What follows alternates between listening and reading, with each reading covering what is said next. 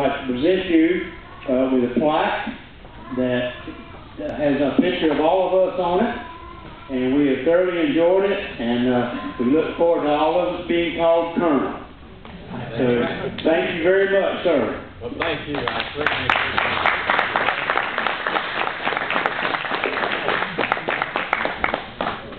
You've been a great class, an exceptional class, and I'll tell you what, thank you very, very much. We'll, we'll always remember you, and we'll hang this with pride. Thank you very much.